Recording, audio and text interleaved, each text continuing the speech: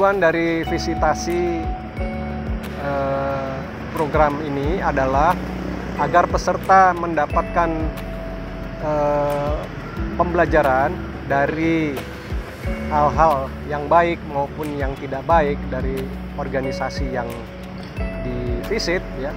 Nah, dengan demikian peserta bisa mendapatkan lesson learn.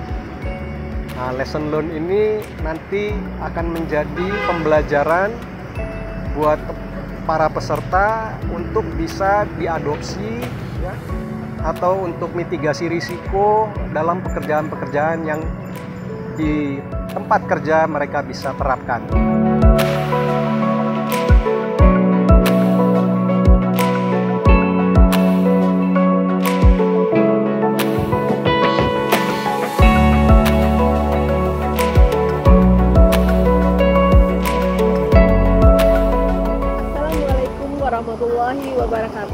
Saya Alindia Lestari, peserta di Klub Kepemimpinan Nasional tingkat 2, angkatan kelima tahun 2021.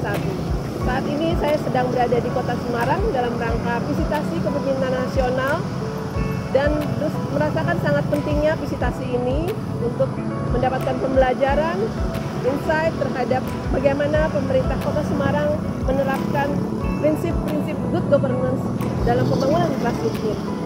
Kami sangat berterima kasih atas kesempatan pada pelaksanaan visitasi ini yang walaupun dilaksanakan dalam kondisi pandemi COVID dan dalam penerapan protokol kesehatan yang ketat, tapi kami berkesempatan mendapatkan banyak pembelajaran, banyak informasi serta menjadikan suatu masukan bagi kami dalam pelaksanaan ke depannya.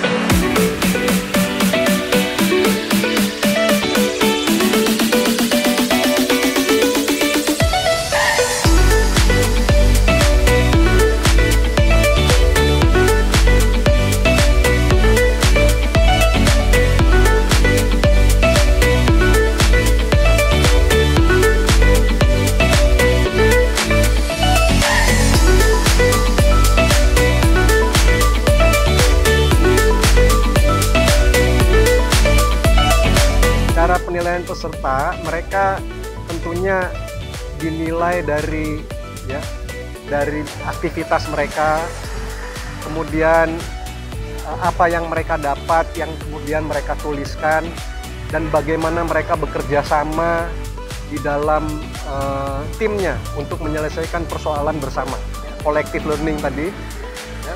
kemudian juga mereka menyelesaikan persoalan bersama-sama kolaboratif problem solving